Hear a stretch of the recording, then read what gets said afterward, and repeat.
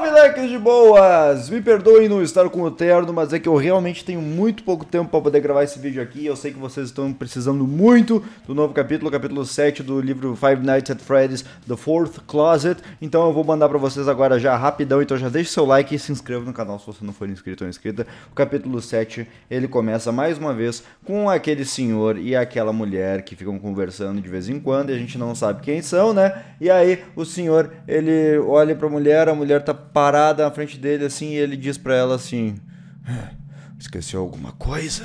Como quem apressa ela para ir embora. E ela diz: Eu nunca me esqueço nada. E ele diz: Então vai logo, guria! Vamos! Anda! Anda que tá esperando! E aí ela fala: O tempo está passando. Eu não sei por que, que estamos gastando o nosso tempo, o seu tempo, perseguindo essa coisa. Eu sou mais útil aqui do que indo lá. Nós estamos vendo resultados. E o velho falou: Nós não estamos vendo nada. Qualquer um pode ver uma chama uma vez que ela já esteja queimando, mas Henry. Não. Henry viu uma faísca e fez uma labareda disso tudo. Ele fez algo que nem ele mesmo poderia compreender tamanha magnitude. Ele conseguiu algo único e você vai trazer isso para mim. Aí a mulher olhou para baixo, meio que com um olhar assim, tipo, triste. Ela falou: Eu não sou o suficiente. E o velho falou: Não, você não é. E ela foi embora sem olhar para trás. Tenso, na verdade. Depois disso, John e Jessica finalmente voltaram para a, o apartamento de John e o John ficou muito aliviado quando ele chegou e viu que não tinha nenhum carro parado ao lado ou que a porta dele estava intacta, tudo nos conformes. Ele, caramba, graças a Deus, a Charlie. A Charlie tá bem. Ninguém entrou dentro do apartamento, nenhuma janela quebrada.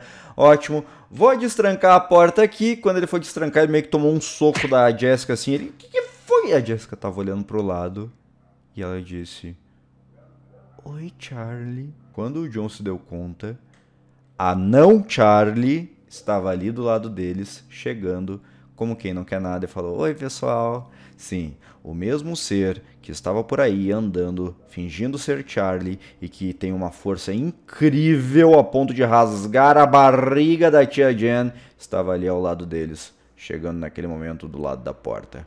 E os dois sabiam que aquele ser não podia de jeito nenhum chegar perto de Charlie.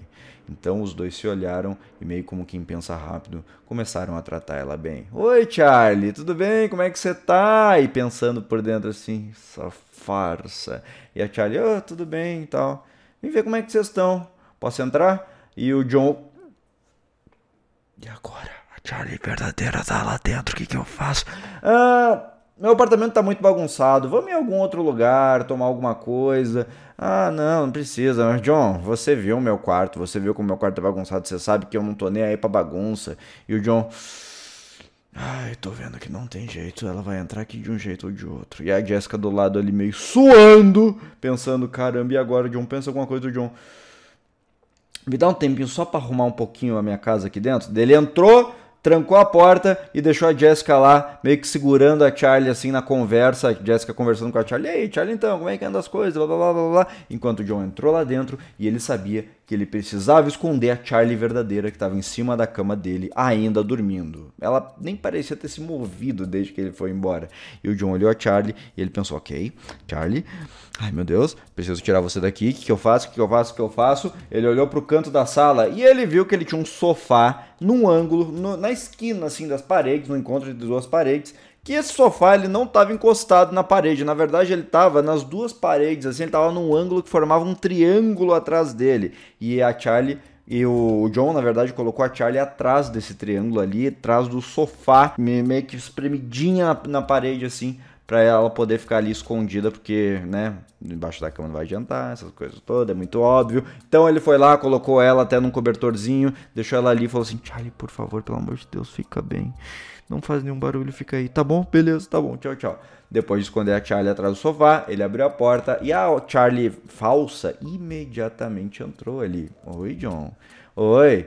E aí eles começaram a conversar, aquela coisa toda, né? E aí, Charlie, o que, que você quer? O que você tá fazendo aí, que você tem feito ultimamente, tal e tal? E aí eles ficaram se olhando, se olhando. Ele olhava pra Jessica, a Jessica olhava de volta como quem diz, cadê?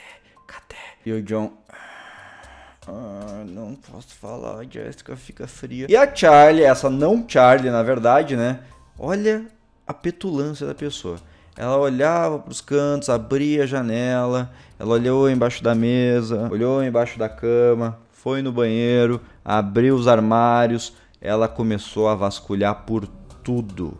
Ela estava literalmente procurando alguma coisa e ela nem mesmo se preocupou em fingir que não estava procurando nada.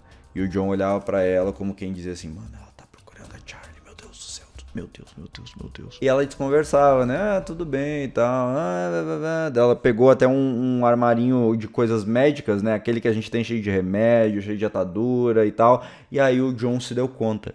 Ela tá procurando por sinais de que alguém esteve ferido.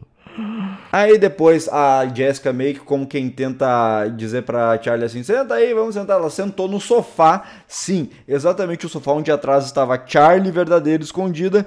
E a Jessica, vem, senta aqui, Charlie. E aí a Charlie sentou e graças a Deus ela não olhou para trás do sofá, mas ela continuou procurando com os olhos alguma coisa.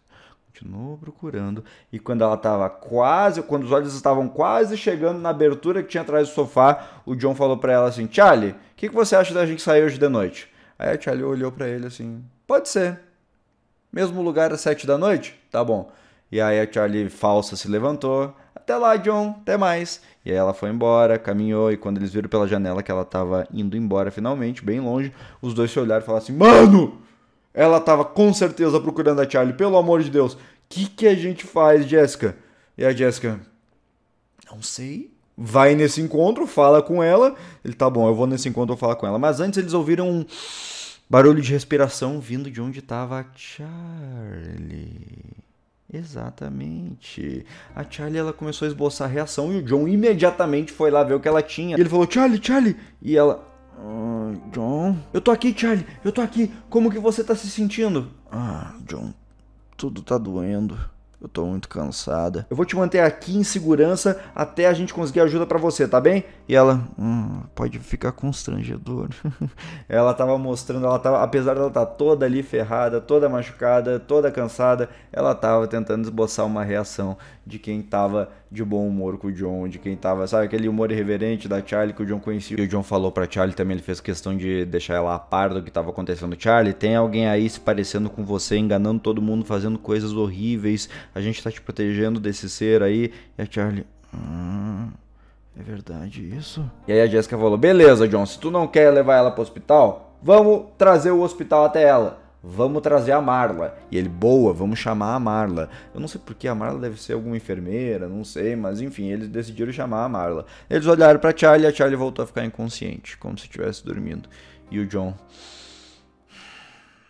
Vamos até o encontro com a Charlie falsa. O John chegou no restaurante e ele e Jessica tinham se preparado, obviamente. O John estava aqui escondido dentro da roupa dele com um walkie-talkie para a Jessica poder ouvir tudo que a Charlie falava para ele. A Jessica estava junto com o Carlton num outro ponto do restaurante escondido lá, onde a Charlie não conseguia ver eles, e eles estavam só de olho no que ia acontecer no tal do encontro. A Charlie já tinha chegado lá mais cedo e o John chegou atrasado, e o John chegou na mesa sem mostrar o walkie-talkie, obviamente, porque a Charlie, a Charlie falsa estava sendo espionada sem ela saber, né? E aí ele chegou, eu tô atrasado. E a Charlie, é, geralmente sou eu que tô atrasada, né? Olha que interessante. E a Charlie falsa foi direto ao ponto. Então, fiquei sabendo que você e a Jessica visitaram aquela cidade fantasma. E o John. Cidade fantasma? E ela, Silver Reef, Recife de Prata. E o John, ah, Recife de Prata, sim. É, bom, Charlie, você sabe que eu sempre fui um cara que gosta muito de história e eu eu fui até o Recife de Prata lá para eu poder estudar mais sobre as minerações de ouro ao longo da história e a Charlie corrigiu ele, prata. Ele é prata. E ele começou a se dar conta que não estava colando a desculpa. E ele falou: "E eu também fui lá em busca de uma de uma velha amiga." E a Charlie: "E você encontrou?" Essa velha amiga? E o John? Não. Não encontrei.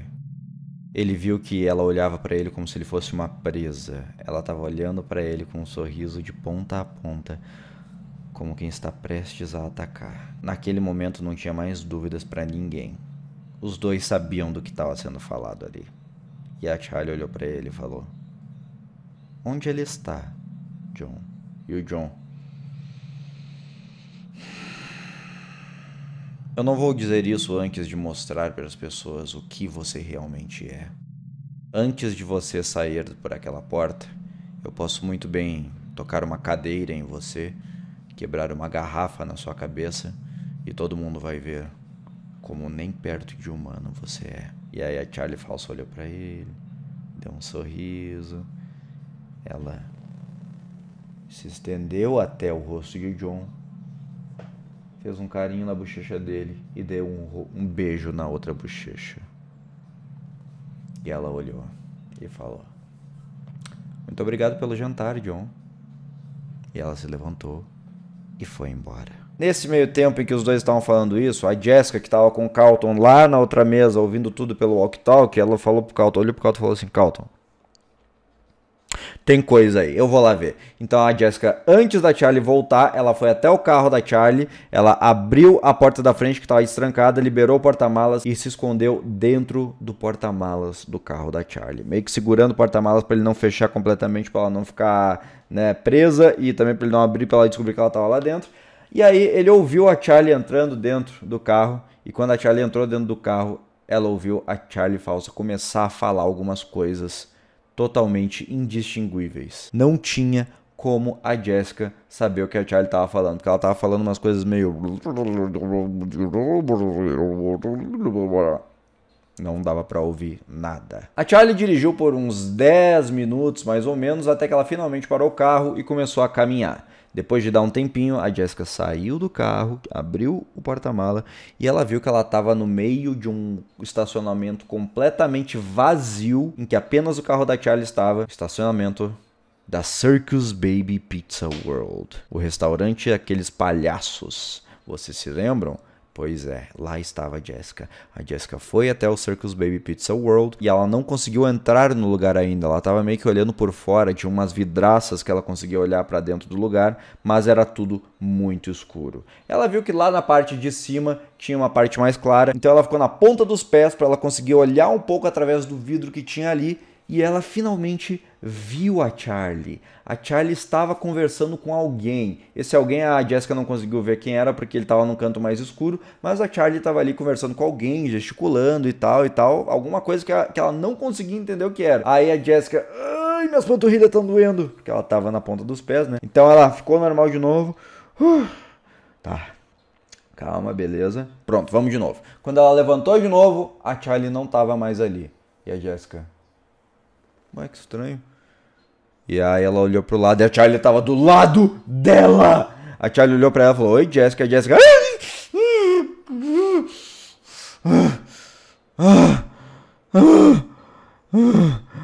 E o que aconteceu era o seguinte: a Jessica tava meio que num canto que ela não poderia fugir sem passar pela Charlie. Então a Jessica sabia que ela não poderia correr dali. Então ela pensou: Vamos fingir que não tá acontecendo nada. E ela, Charlie! Que susto, Charlie. Caramba! Faz mais isso não, menina. E a Charlie, é, tava, o que você tá fazendo aqui, ô menina? Você tá fazendo o quê? Ah, eu tô vendo esse lugar aqui, eu quero ver, eu não conheço nada. Esse lugar aqui abriu faz pouco tempo e tal. Fiquei curiosa, eu vi você entrando aqui, eu pensei, o que, que a Charlie tá fazendo aqui, né? E a Charlie, ah, você não quer entrar não? E aí a Jessica,